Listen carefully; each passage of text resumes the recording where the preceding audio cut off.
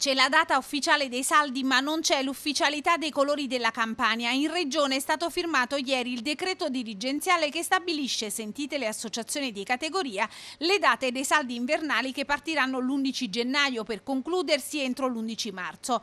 Ma se come da prassi i negozianti per prendere una boccata d'ossigeno hanno creato nei loro negozi e nelle vetrine nei giorni delle festività natalizie le zone sconti e promozioni, puntando sui giorni di apertura e soprattutto per il settore moda, abbigliamento e calzature, calzature, quelli di colore arancione, in Campania oggi c'è la data dei saldi ma con l'incognita della zona. Da sabato 9 gennaio infatti si tornerà in zona arancione fino a lunedì quando ogni regione verrà collocata in una nuova zona. La regione Campania sarà in zona gialla sia domani 7 che l'8 gennaio con la possibilità per i ristoratori e i bar di restare aperti con consumazione al banco o al tavolo fino alle ore 18 mentre dopo quell'ora solo a trasporto fino alle 22 e consegna a domicilio.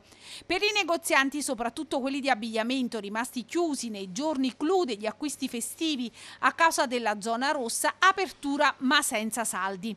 Una valutazione probabilmente dettata dalla volontà di evitare affollamenti di consumatori, soprattutto in concomitanza con la due giorni di zona gialla del 7 e l'8 gennaio. Ma sarà davvero così? Niente saldi? Ma ci sono le promozioni, le offerte, gli sconti del punto vendita, differenze molto sottili che vanno ben oltre l'ufficialità.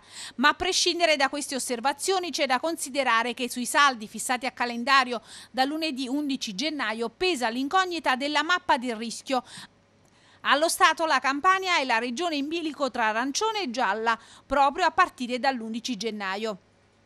Tutto dipenderà dal monitoraggio dei dati relativi ai contagi. Nel caso fosse in zona arancione scatterebbe il divieto di spostamento dal comune di residenza o domicilio e i negozi sarebbero addirittura chiusi.